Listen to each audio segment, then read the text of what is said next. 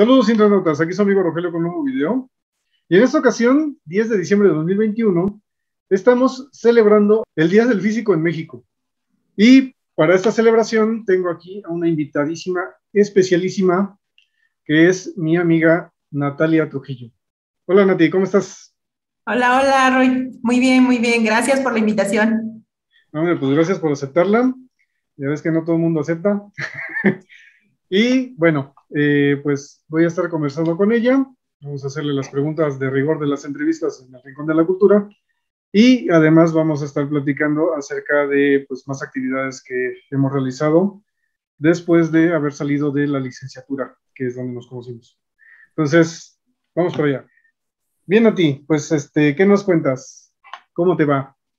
Eh, muy bien, eh, ahorita vivo actualmente en Cuernavaca y soy maestra de preparatoria. Eh, doy las materias de física y matemáticas. Ah, perfecto, sufriéndola en Cuernavaca, en la ciudad de la eterna primavera. Exactamente. Perfectísimo. Bien a ti, bueno, pues las preguntas de rigor. ¿Qué es un físico? ¿Qué es lo que hace un físico? Bueno, un físico, eh, así rápidamente, pues sería una persona que estudió física, eh, pero es una persona que se dedica eh, sobre todo, yo considero que a tratar de resolver o tratar de explicar todos los fenómenos que suceden en la naturaleza, porque la palabra física, pues justo eso quiere decir, naturaleza.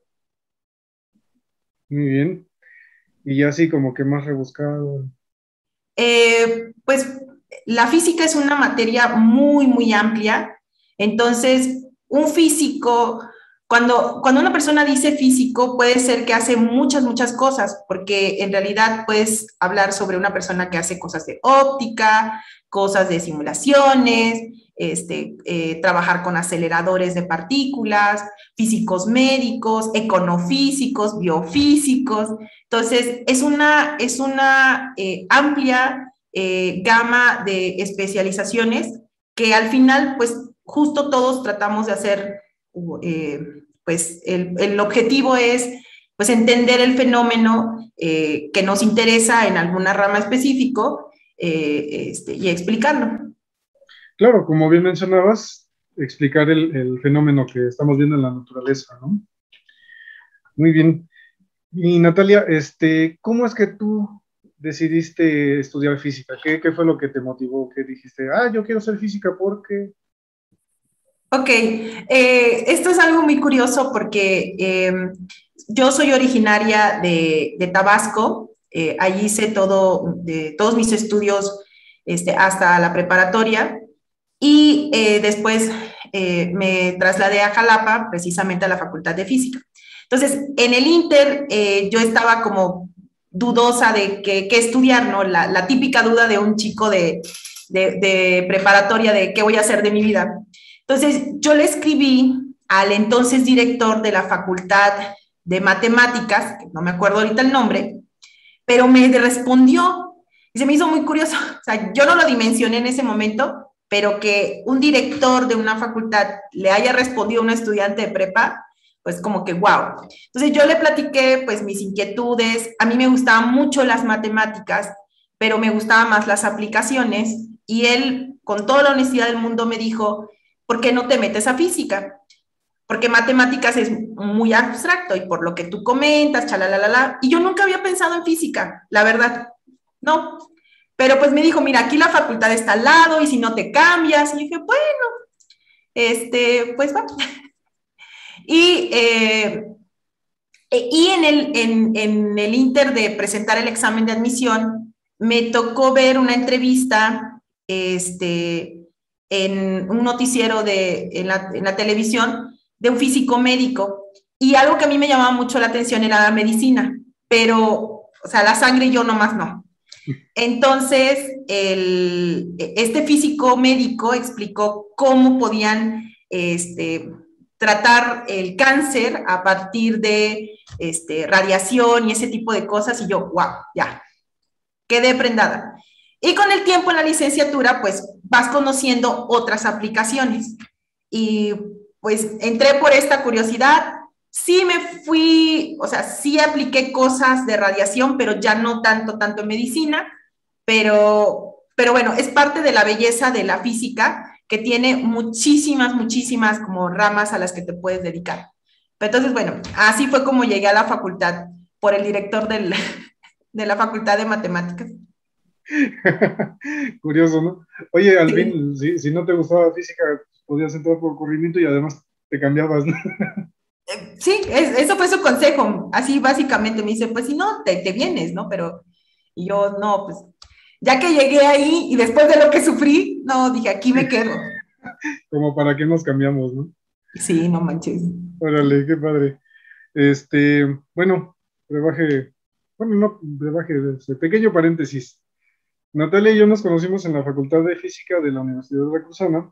Ella entró varios años después que yo, pero pues aún así nos conocimos porque este, Natalia duró mucho tiempo la facultad.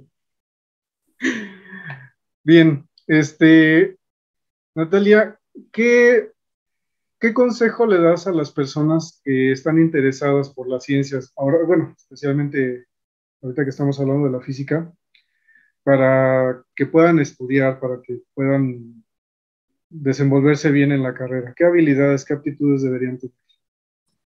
Ok, eh, bueno, hay muchos factores que considero que uno tiene que tomar en cuenta. Primero, obviamente, pues es eh, el que tú sepas dónde vas a estudiar física, porque a lo mejor en el lugar en el que tú vives este, no, no, no hay este, posibilidades de estudiarla y tienes que salir fuera y bueno, la parte económica siempre es un factor.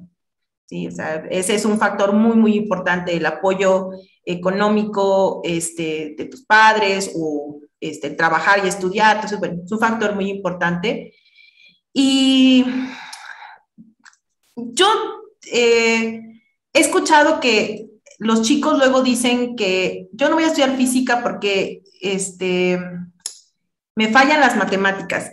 Y fíjense que sí es cierto, llevamos muchas matemáticas, ¿verdad, Roy? Sí. llevamos muchísimas matemáticas, pero, pero yo creo que más allá de, de saber este, despejes y fórmulas y todo eso, es como tener este, esta intuición del fenómeno, entender el concepto, entender, eh, decía mi asesor, la física del fenómeno. O sea, la matemática es una cosa y a lo mejor pensamos que van, o sea, siempre están casadas, pero el, fenómeno es como lo importante, tener como ese, ese feeling, esa intuición para, para hacer las deducciones, es algo muy, muy importante. Eh, otra cosa que yo considero que también uno debe de considerar en una carrera como esta es la resiliencia. O sea, somos ejemplos de que no es una carrera de, velocidad, sino una carrera de resistencia. Sí, hay que, o sea, si en verdad te gusta, pues no va a ser fácil. O sea, yo siempre le digo a los chicos, o sea, a mí me gusta la física y me encanta, pero eso no quiere decir que, que siempre fui de 10, 10, 10 o que siempre se me fue, me fue fácil. No, o sea, uno tiene sus altos, sus bajos, pero pues ahí, ahí le sigues y ahí le sigues y aguantas todo. los profesores, los exámenes, los ánimos y, pues cuando vienes a ver, ya te titulaste. sí, es, es, es esa parte de, de la resiliencia. Este, Ciertamente la habilidad matemática sí ayuda, sí, sí es cierto, pero eh, em, con, la práctica, o sea, aquí sí hay que talacharles, hay que trabajar, eso siempre, siempre hay que trabajar muchísimo. Y yo considero que otras dos habilidades que al menos en nuestra generación este, no, no se eh, impulsó tanto son la programación y el inglés. Y actualmente son este, dos cosas que no solo en física, sino en todas las ciencias son súper indispensables, muy, muy importantes. Entonces, digo, esos serían como los consejos por el momento que podría darles. ok, que sean de aguante y que estudien inglés y, que le echen a la, a la, computación, ¿no? La programación. Sí, sí, definitivamente. lenguaje o alguno especial? Eh, Mira, yo creo que, eh, y eso sí es muy importante, yo creo que cuando uno aprende a programar, o sea, no tanto un lenguaje de programación, sino a programar, a entender cómo, eh, cómo debes de ordenar eh, tus ideas, eso es lo importante. Porque, bueno, cada, cada lenguaje tiene pues sus, sus instrucciones muy específicas y, bueno, te vas saltando de, uno, de, una, de un lenguaje a otro, pero si tú, si tú sabes cómo este, hilar las instrucciones, eso ya es, o sea, ya es trabajo ganado, o sea, es mucho, mucho adelantado. Y bueno, ahorita pues, ¿qué es? O sea, lo novedo, bueno, lo, lo usual, Python, C++, este, Fortran es muy viejo, pero hasta la fecha lo siguen utilizando. Déjame este, que ese fue que yo usé para mi tesis. Imagínate. Entonces, digo, de ahí ya depende mucho de, de, del estudiante, del profesor. Con que tú sepas un, un lenguaje muy, muy, muy bien, ya la llevas. Sí, lenguajes de programación es una infinidad, ¿no? Hasta para programar Android es un, lenguaje diferente y pues no podemos aprender todos.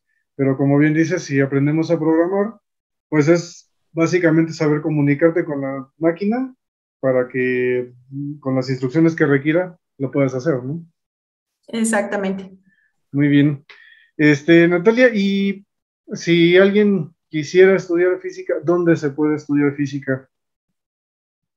Eh, bueno, aquí hablando en México, eh, así de las que yo les puedo mencionar, hay en Tabasco, en Mérida, en la Ciudad de México, obviamente, en Guanajuato, Veracruz, salimos nosotros. Claro. Eh, la mejor facultad, por supuesto. Ah, obvio. La, en Guadalajara, en, en Ensenada, y sé que hay en algunos, Monterrey, pero digo, esas son como las que así se me vienen como a la mente, ¿no? Entonces, investigar siempre en, la, lista de ofertas académicas por universidad siempre es importante, pero así como de las que me suenan ahorita, esas serían como las más. Sí, claro, este, obviamente las universidades más grandes van a tener, pues como de todas las carreras, ¿no? El chile, mole y pozole y pues ahí podrían encontrar alguna. El TEC de Monterrey, fíjate que, es de los que yo no me imaginé que tuvieran. Bueno, es que no tienen licenciatura en física, tienen ingeniería en física y en el TEC de Monterrey. Pero pues básicamente ven como lo mismo o es, es, diferente el programa. ¿Tú sabes algo de eso? Mira, lo que pasa es que sí hay una gran diferencia entre un ingeniero físico y un licenciado en física em, no solo en el título, sino en, su temario. El temario de un ingeniero físico es mucho más aplicado, ¿sí? Este, ven cosas como, este, se me fue, elasticidad, tensiones, y nosotros en, la carrera lo vemos como optativas, ¿no? Si, si tú quieres ver eso, pero ya lo tomas, ¿no? Pero casi no, no tomamos esas materias. Entonces, y los ingenieros físicos, yo he visto, digo, no, no sé en general, no sé en todos, pero al menos los que yo he conocido del TEC de Monterrey, de la UAM Iztapalapa y de la UADI, que es la de este, Yucatán, este, su mecánica cuántica o es, o es nula o es muy básica. Entonces, casi no, no, no llegan a ver la parte de, mecánica cuántica o mecánica estadística así con este, ay, ¿cómo se llamaban estos? Los, los ensambles, sí, el canónico, microcanónico, nada de eso, no, nada de eso. Ah, Entonces, eh, sí, son como, sí, sí, ciertas diferencias en materias, ¿no? Las bases son las mismas, o sea, mecánica, termo, este, eh, eh, ondas, es como lo mismo, ¿no? Ya las, las últimas materias es donde variamos un poquito. Por lo mismo de la aplicación, ¿no? Como que en la licenciatura somos más abstractos, más teóricos, ¿no? Sí, exactamente, exactamente. Sí, bueno, una de las cosas que, bueno, ahorita ya vamos a empezar con las anécdotas. Fíjate que una de las cosas que a mí me, pues me sirvió mucho para, pues para empezar para hacer la maestría, ¿no? Pero para lo que me dedico ahora, que es la seguridad radiológica, me ayudó mucho el, el haber llegado este, mecánica cuántica, porque no solamente es como la estructura del átomo, ¿no? Sino las interacciones con las que se genera la radiación. O sea, ¿cuáles son las interacciones que, que, ocurren dentro del núcleo atómico que permiten que se, que se emita radiación, ¿no? Y eso, pues, yo creo que si no hubiera estado ahí en la facultad, no hubiera estudiado en ningún lado, ¿no? Sí, sí, la verdad es que, mm, y aparte, pues, digo, tuvimos un buen asesor también. Eh, si no me recuerdo, ¿fue tu tutor de licenciatura, de la tesis? ¿Sergio Lerma? Sí. Sí. Sí, fue tu tutor, ¿no? Y, y pues, no, o sea, yo, yo esa, las notas de mecánica cuántica de, de, de, Sergio en la licenciatura, yo me las llevé a la maestría y me salvaron, me salvaron del, del en el, ¿cómo se llama? En el examen de ingreso para la maestría y en la materia. O sea, excelente, excelente. Sí, pues, este, de verdad que yo creo que, que la Facultad de Física de la Universidad de Veracruzana debe ser una de las mejores calificadas en, en, este, en el país, ¿no? Yo recuerdo que, digo, no sé cómo, cómo son ustedes, pero cuando yo presenté el, el examen para el posgrado, para la maestría, todos los que estuvimos en, en el examen de, de los que íbamos de la UV, todos quedamos, ¿no? O sea, no, ninguno fue así como que, ah, ya me regreso con, vuelve el perro arrepentido. sí, sí, exactamente, lo mismo. O sea, eh, eh, una amiga y yo presentamos en, en Cuernavaca y quedamos, y en ese mismo año en la Ciudad de México estaban otros tres chicos y también quedaron. Fíjate, la verdad es que sí tiene buen rating. Yo, yo recuerdo esa vez tenía un chorro de miedo, ¿no? Porque, pues, digo, tú me conoces, no fui un estudiante así como modelo, pero... Pero es lo que te digo, resiliencia, o sea, sí. aguantamos. Había que aguantar.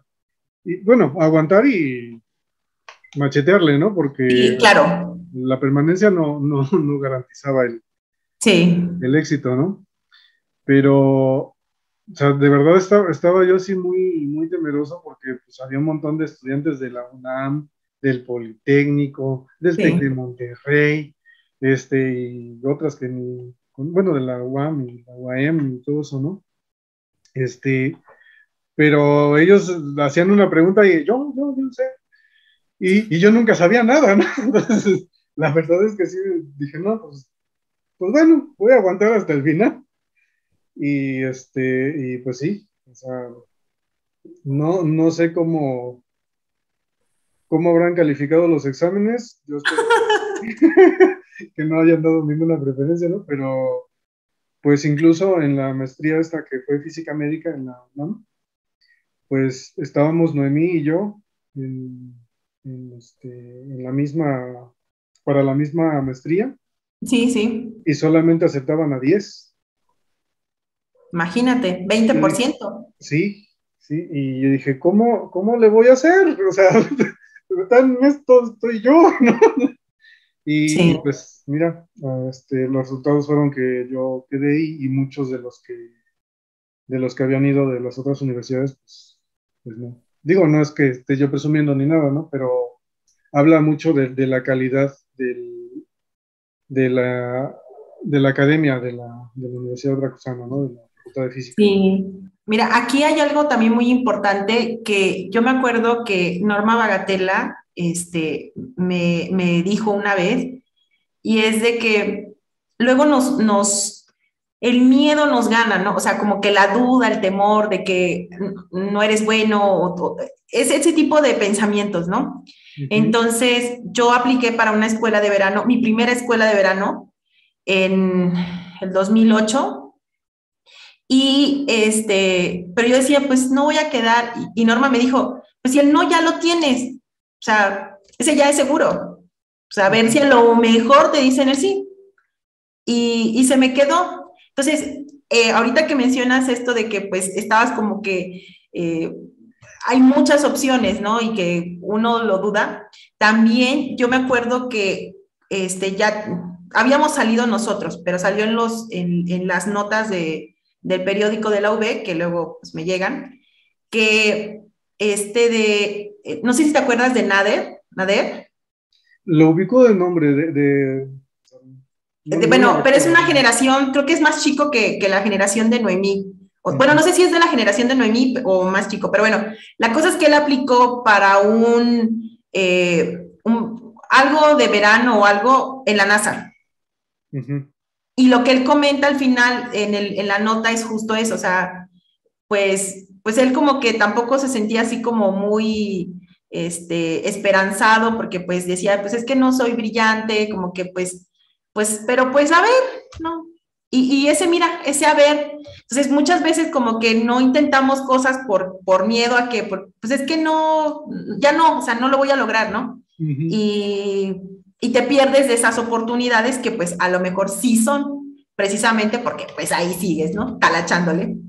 Claro, sí, y sobre todo que, por ejemplo, este, a lo mejor era el único mexicano que estaba aplicando y, dicen, pues va, que venga, ¿no? A conocer o lo que sea, ¿no? O sea, uno no sabe realmente, este, qué, qué es lo que están evaluando. Sí, exacto, los criterios y uno, uno pierde esas oportunidades, como dices, precisamente por miedo, ¿no? Por miedo al fracaso, por miedo al que me digan que no. Y pues de hecho hasta es como lo más natural, ¿no? Que digan, no, pues, sabes que para la próxima, pero no seremos los primeros ni seremos los últimos a quienes digan, ¿sabes qué? Pues sigue participando, ¿no? Sí, Entonces, efectivamente. Y volvemos a lo mismo. Constancia, resistencia. Bien, Natalia. Este, ¿Y tú qué anécdota nos puedes contar de, así personal? Los, los años que pasé en la facultad, la verdad que fueron, o sea, son, fueron una experiencia muy gratificante, o sea, hubo de todo, hubo altas y bajas.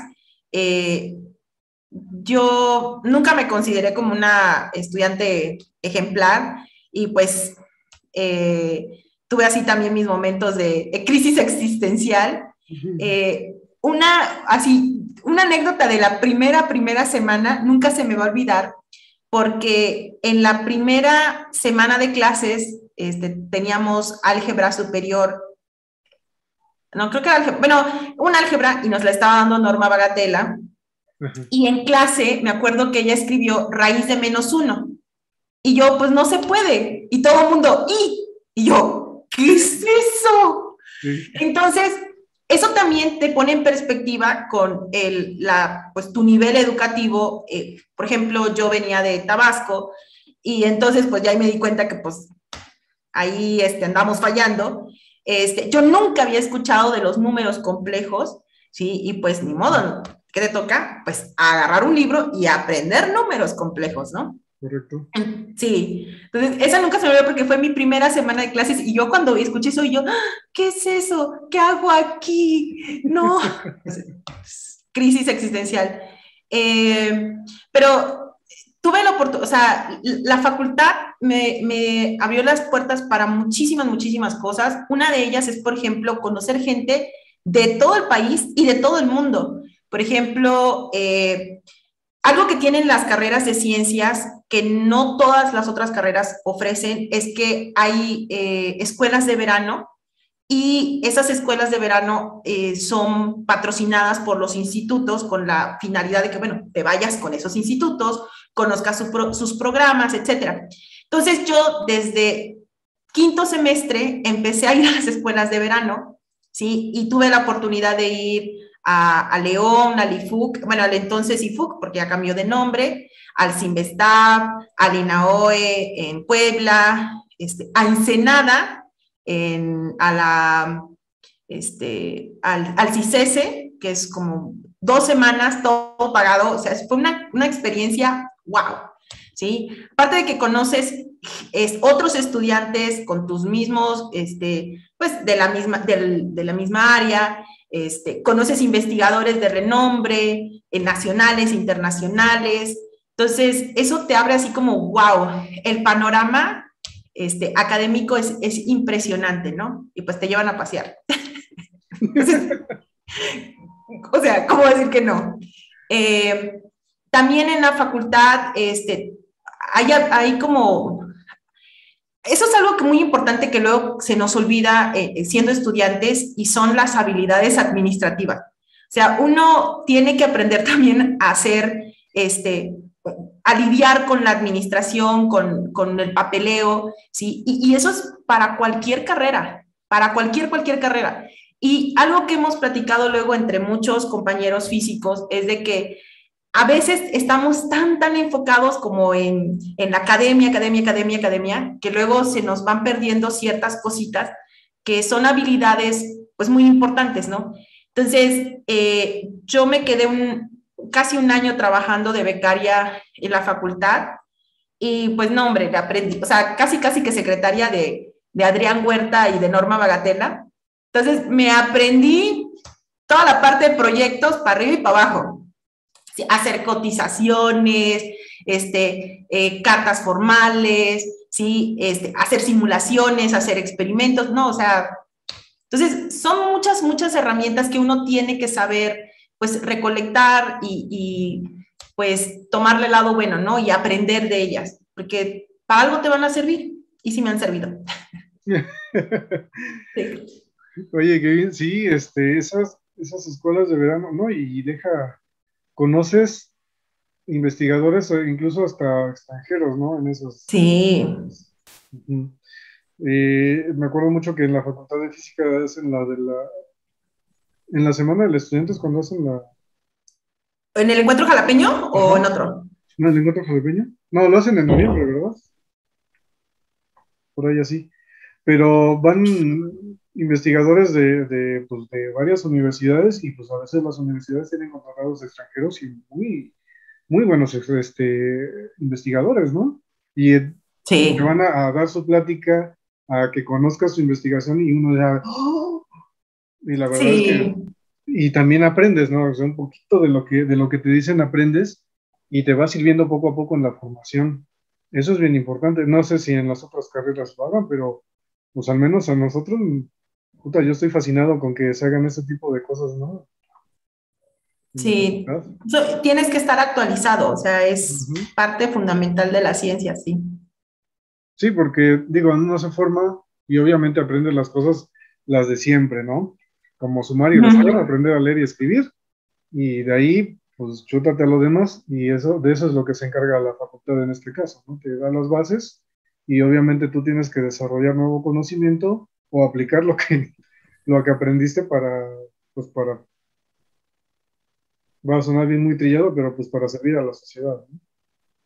Oye, ahorita que estás mencionando esto, no sé si tú estuviste en un jalapeño, fue el primer jalapeño en el que estuvo el doctor Eloy Ayón Beato, Beato y, y, era un compañero, no sé si era de tu generación, pero cuando Eloy hizo, dio su plática, eh, un chico le preguntó, ¿y eso para qué sirve? Sí, sí, fue mi compañero. Es que no me, acu me acuerdo que me acuerdo del muchacho físicamente, pero no, no, no lo conocí de nombre de la facultad. Bueno, mejor no, no decimos nombre. No. Ok, ok. Pero sí me acuerdo Ajá. mucho, porque esa pregunta es una pregunta que le hace muchísimo a los físicos. Sí. ¿sí? Sobre todo yo, bueno, soy maestra y doy clases en preparatoria, y mis estudiantes eh, siempre me dicen, pero esto no me sirve. ¿Y esto para qué? Y entonces, ¿cómo, no? O sea, tienen, eh, esta es una de las cosas que tiene la física y que bueno, ahí viene como la división, que es la, la, eh, la ciencia básica y la ciencia aplicada, ¿no? Uh -huh. Entonces, eh, y eso también es algo que, que, falta como difundirlo, como explicarle que, pues, yo siempre le digo a los chicos, justo la pregunta fue de cosas de electromagnetismo. Digo, ah, mira, ¿para qué sirve? Pues para que tengas celular, para que tengas laptop, para que tengas telecomunicaciones, para que tengas Netflix y chalala, chalala, chalala, chalala, ¿no? Entonces, como que a veces eh, falta como dimensionar esta parte de que los conocimientos básicos que aprendemos tienen muchas, muchas aplicaciones que pues las damos de, de sentado, ¿sí? Uh -huh. y, y de ahí vienen, ¿no? Sí, claro, y creo que no, no sé, este, corrígeme si me equivoco, pero creo que es un problema fundamental de, las generaciones actuales, ¿no? Digo, porque muchas veces, de, verdad, ahorita que convivo con, personas, este, pues sí, más chicas que yo, ¿no? Porque eh, tienen como esa idea de que, de que las cosas son así y, siempre han sido así, ¿no? Mm, sí. O sea, que los autos este, ya traen poquitos, ah, pues que siempre ha habido focos no existen de otros, ¿no? O siempre ha habido iPhones, eso es lo que, eso es lo que tienen en la mente. No tienen idea del desarrollo tecnológico que se ha logrado, obviamente a base de, de, estudiar, de, la ciencia, de la ingeniería, y y pues a mí me sorprende de repente mucho porque, o sea, nosotros, creo que a ti también te tocó esa, esa, ese cambio generacional, tan solo de, bueno, tú a lo mejor más de los dispositivos móviles, pero a mí me tocó todavía el cambio de los sistemas de almacenamiento, ¿no? O sea, yo conocí discos de acetato, conocí este, cinta magnética, los cassettes, el VHS, el beta. sí. Y luego cuando conocí el, puta, cuando yo conocí el disquete tenía 16, 17 años, para mí era una maravilla, ¿no? Cuando me dieron con una pinche madrecita así de USB que le, que le multiplicaba por 100 la capacidad, Uy, yo sentía que me iba a explotar la cabeza cuando Era, o sea, te yo me acuerdo que en Jalapa me compré mi primera memoria USB de un giga y era así como que, wow, no manches, carísima que era carísimo, ¿te acuerdas? O sea, yo me acuerdo que me salió como en, o sea, en ese entonces, como en unos 600 pesos. Ajá. Sí. no. Y, yo estaba emocionado porque, ay, mi memoria USB de un giga, ¿no? Ya me cabe una película. sí. Este, y, ver, por ejemplo, ya a nivel de investigación, las tarjetas este, perforadas que se tenían que programar, ¿no? Que sí. vivías en tu máquina que la máquina perforada y que luego fueras a correr el programa, ah, ¿no? Y ahora, ve, ve la mayoría, de la, la maravilla de tecnología que tenemos, que una de estas cosas, que es la computadora, le caben cientos y cientos de la capacidad que tenía esa supercomputadora de hace 30 años, ¿no? Sí. Y que la gente no sea consciente de eso, pues híjole, ¿no? Me habla de, una, pues, poca cultura o, bajo nivel educativo que estamos sufriendo en las áreas básicas, ¿no? Ya sí. primaria, secundaria. Porque eso quiere decir que no estamos enseñando bien historia. Sí, también, también. Pero para eso estaba el rincón de la cultura, así que denle like y suscríbanse al canal. pues sí, Natalia, pues fíjate, después de tanto tiempo que nos volvamos a, conectar, a contactar y que pues, hayas aceptado esta invitación para, para celebrar el Día del Físico. Este, pues no sé si tienes algún mensaje para los colegas. Pues. Que, ya son físicos y que pues, quieren hacer físicos. Ok, para los que quieren ser físicos, eh, pues créanme que es una carrera muy, muy bonita pero sí exige y demanda trabajo, como cualquier otra carrera, ¿sí? Y bueno, si en verdad les llama la atención, pues, pues ahí, van a, ahí van a aguantar y, ir desarrollando sus habilidades a la par. Em, lo que les decía, programar el inglés, ¿sí? También es importante. De manera muy particular, yo sí les recomiendo que, este, que no todo sea la academia, que tengan siempre como algo en que este, desarrollar eh, el desestrés o no sé, o sea, siempre tengan una actividad eh, extracurricular, algún deporte, danza, pintura, ¿sí? Eh, siempre, eso sí es muy importante. Un trabajo de medio tiempo para los que estudiamos y trabajamos. Ah, sí, también.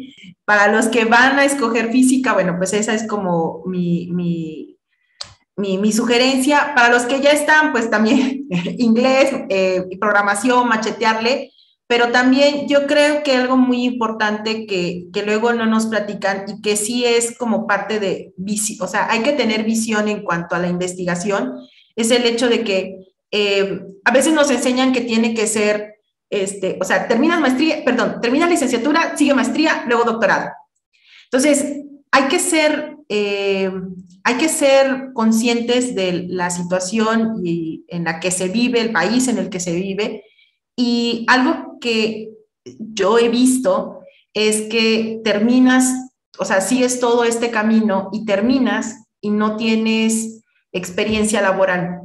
Entonces, eso es algo que, es, que, que sí hay que tomar en cuenta, ¿sí? Este, yo les recomiendo que si están en la licenciatura, den clases, este, consigan algún trabajo, porque créanme que e, ese tipo de experiencias luego sí son importantes a la hora de buscar algún trabajo o alguna posición, porque luego las entradas para las maestrías, para los doctorados, pues toman tiempo, se te pasan los meses, entonces, ¿qué haces en el intermedio, no? Y muchas veces no te quieren contratar porque no tienes experiencia.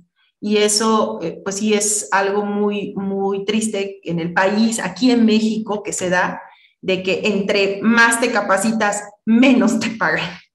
Entonces, no siempre, pero, pero sí es algo que, que no te lo dicen, que yo creo que sí es importante hablarlo, platicarlo, ¿sí? Este, informarse. Yo creo que eso es súper importante, infórmense siempre, o sea, investiguen eh, sus posgrados, eh, en qué pueden trabajar, con quién van a trabajar, este, a dónde se pueden ir. Todo ese tipo de información es súper, súper importante. O sea, visualizar eh, esta parte del trabajo futuro, etcétera, porque si no, pues sí, terminas un doctorado, pero ¿y luego qué, no? Entonces, Sin trabajo, está uno sobrecalificado para los trabajos. Sí, y, desgraciadamente México es, no tiene esta cultura, que es lo que estamos platicando, de que eh, de contratar físicos que pueden hacer muchas cosas, sí, pero prefieren pagarle a, a un ingeniero recién salido, sí, porque pues a este ingeniero sí le puedo pagar tanto y tú con tu doctorado necesito pagarte más, ¿no?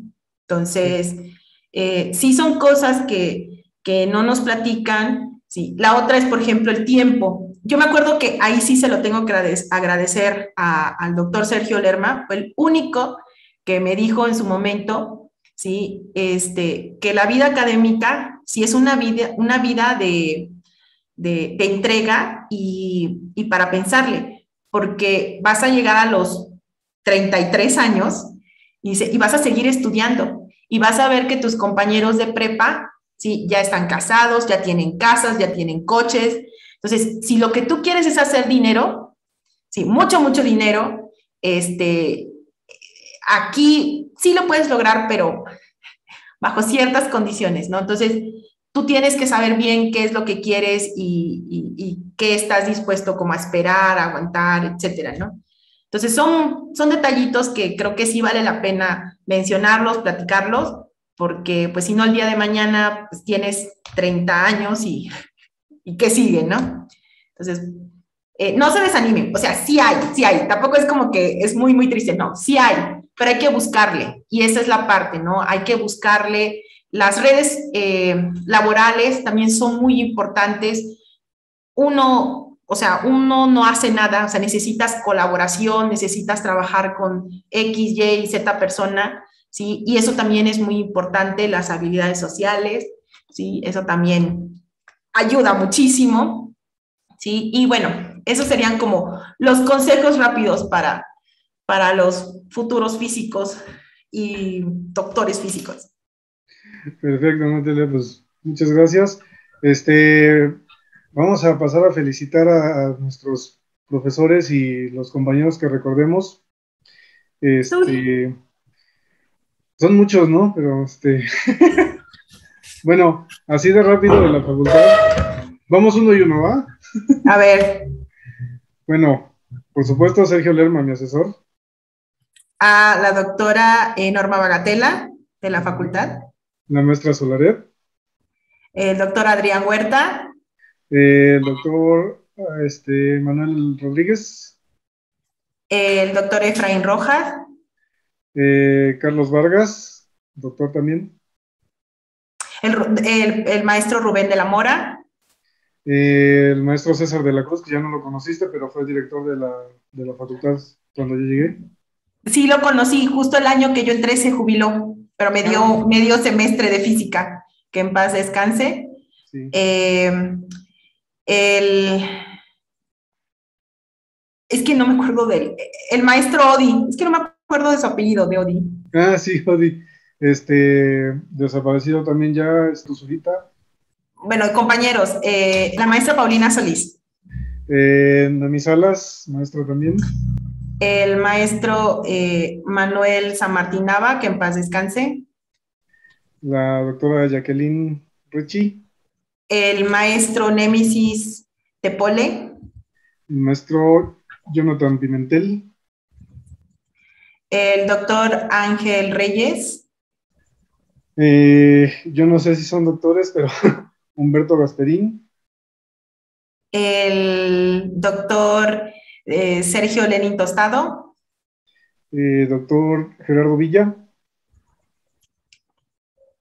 El doctor Rafael Páez doctor Javier González. El doctor Carlos Francisco Herrera Vázquez. Em, el doctor Felipe Pacheco, que no fue de mi generación, pero lo conocí. Acá en Puebla, por cierto. El doctor Ramón Castañeda, que se encuentra en el IFUC. Y pues yo creo que ya no me acuerdo de muchos más. pero de cualquier manera, este, todos aquellos que, que vean este video créanme que de todo corazón les, felicitamos por este día, les agradecemos mucho la labor que realizan como investigadores, como docentes, como trabajadores en la industria o lo que sea que se dediquen. Gracias por formar parte de esta comunidad tan pequeña que, que, somos los físicos. Y pues seguramente sus especializaciones son todavía más reducidos los grupos, pero pues les, les felicitamos mucho por el Día del Físico. Felicidades. Y bueno, pues Nati, pues muchas gracias nuevamente por esta, por esta entrevista. Gracias por aceptar. Gracias por tu tiempo. Y pues este, ojalá que sigamos en contacto y pues que sigamos participando en estas cosas. Vamos a ver si, si para el siguiente año se animan más personas. Había quedado con la maestra Sol, pero ya ves que ahorita como es directora, pues claro, Sí. Entonces, pues entendible. Y pues bueno, ya más adelante les traeré, ojalá, más eh, científicos de esta rama o de las otras que, bueno, en general físicos, ¿no? De la rama de la física. Y pues bueno amigos, esto es todo. Muchas gracias por ver este video. No olviden darle like y suscribirse al canal. Y si no les gustó, también suscríbanse y denle like. Nos vemos en la siguiente, amigos. Saludos. Chao.